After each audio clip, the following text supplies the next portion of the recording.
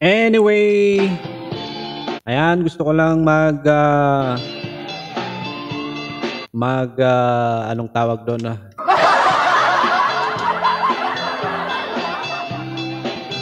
Magbigay ng reaction about kay ah, about sa kapwa nating vlogger na si Jack Floyd ah, Sawyer. Ayan, ah, sa mga hindi pa nakapanood kay Jack Floyd Sawyer, at kinasuhan po ngayon kabarangay. Ayan, kinasuhan po ang ating kapwa vlogger about sa kanyang vlog na pambabastos. Ayan, mag-ingat-ingat po tayo sa mga binanab, binabanatan natin. Ang importante po kasi dyan, eh, wag po tayong magda-drop name. Okay lang kung ah, magbabanat ka dyan, banat ng banat. Huwag ka lamang po magda-drop name, huwag kang magbibitaw ng pangalan.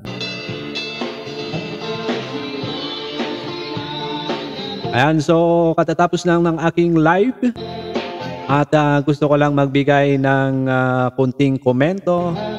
Anyway, pa panoorin natin yung ah, video na about kay ah, Jack Floyd Sawyer na kanyang ah, ah, kanyang ikinakaso.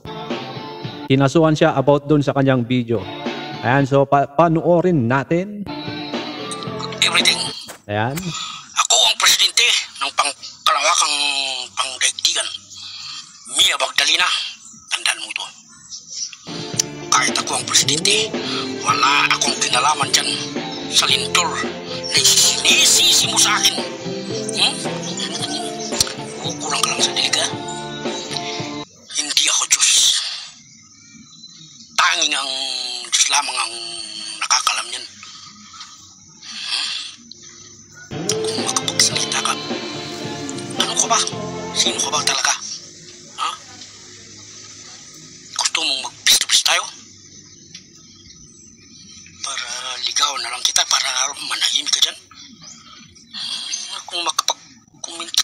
Naman kung... Hmm. Wala akong, sin- wala akong alam sa mga sinasabi mo. Nasaan ako nung lindol? Siyempre natutulog ako. Puyat ako sa kakaisip sa problema dito sa ating bansa. Ha? Hmm, goodness. Hmm. Saan ka ba? Punta ka dito para ano? Nayan kang babae ka? Kung iniwan ka ng boyfriend mo, huwag mong isisi sa Pangulo, ha? Huwag kang ano dyan, Mia Magdalena.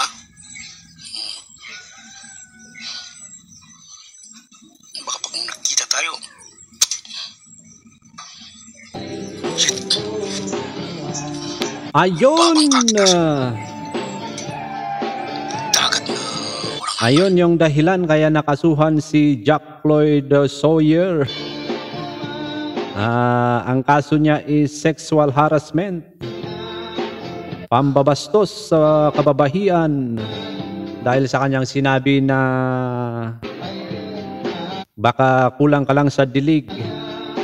Sinabi niyang kulang ka sa dilig o kaya ibabang ka kita sa walang hanggan.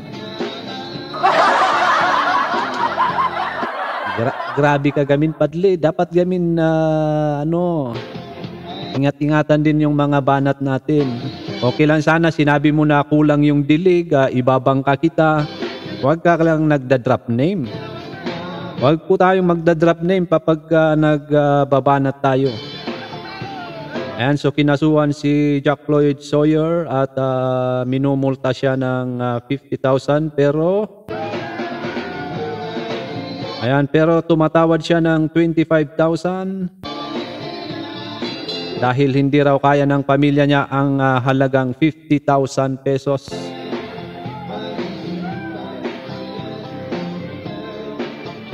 Kaya sa mga pro BBM dyan, pagka pagka binanatan yung presidente nyo, huwag kayong babanat din. At unang-una sa lahat, huwag po tayong nagda-drop name. Yun po yung pinaka-importante doon. Ang pagkakamali kasi ni Jack Floyd uh, Sawyer dito, nag-drop name siya. Ba- ano yun? ah, Sinabi talaga yung pangalan ng babae doon sa kanyang video.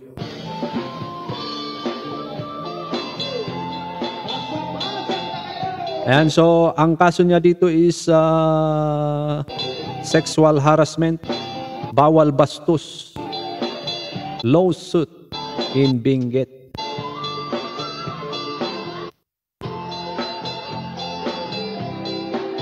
Ayan, meron uh, ano to? The penalty of prison uh, correctional is in medium period or uh, fine uh, less than more less than 100,000 pesos.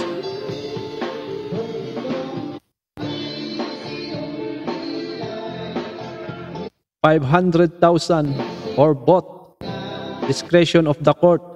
Nako po. Pagka sinabi ng Korte Suprema pala, iaabot to ng 100,000 or uh, kalahating milyong pisos ang kanyang multa.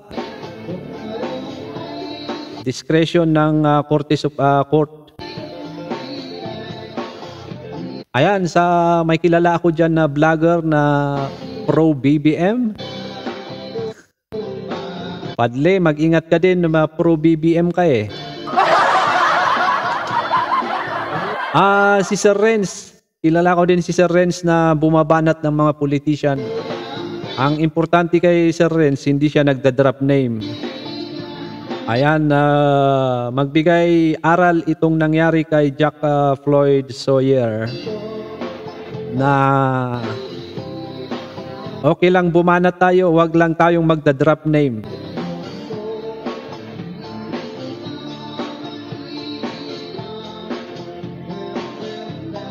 Alright, so ayan, uh, Padli Jack Floyd Sawyer.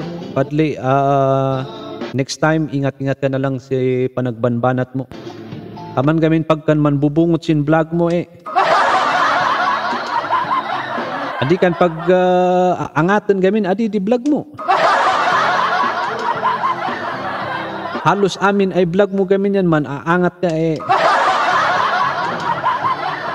Kaman kaman amin ay pugaw yang kayang-kayam ay uh, pisitan.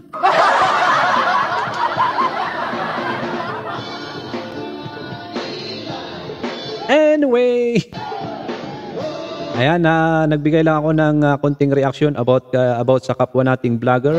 At syempre, uh, dyan lang sa kabila nakatira yung sinasabi kong si Jack Paul uh, Sawyer. Dyan lang sa kabila. So, kilalang kilala ko yun mula pagkabata. Kasi, ano yun, ba, ah, bata pa lang kami, eh, kalaro na namin yun. Ayan, so hanggang sa muli, nagbigay lang ako ng konting reaksyon. Mag-ingat po tayo sa mga binabanatan natin at huwag po tayong mambabastos. Alright?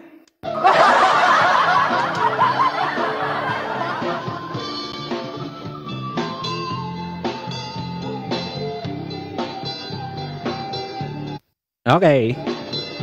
Ayan, signing off na po tayo at uh, katatapos lang ng natin nag-live. Hanggang sa muli, this is Kerry35 Vlog. Signing off.